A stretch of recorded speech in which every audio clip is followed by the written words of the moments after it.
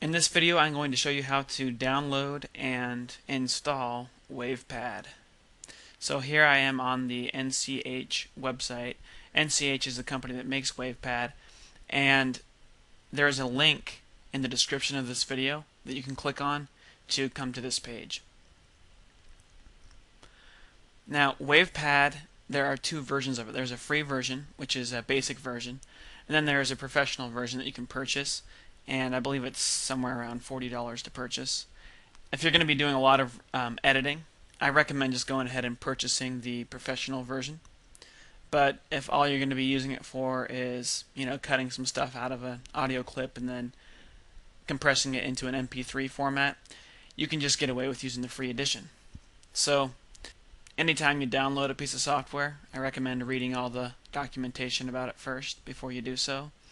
Um, there's some stuff that says system requirements and typical editing applications and so on. And you could click here to get it, but I'm going to go down here to the bottom and choose the specific version of WavePad for my particular computer. I am on a Windows-based machine.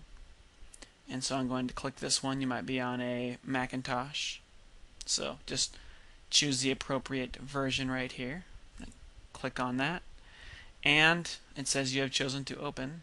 I'm going to hit save file. And that's going to download. And it's finished.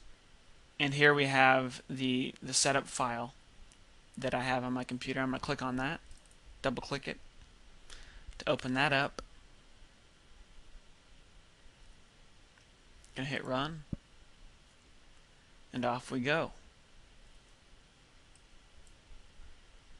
agree to the terms and conditions. Next.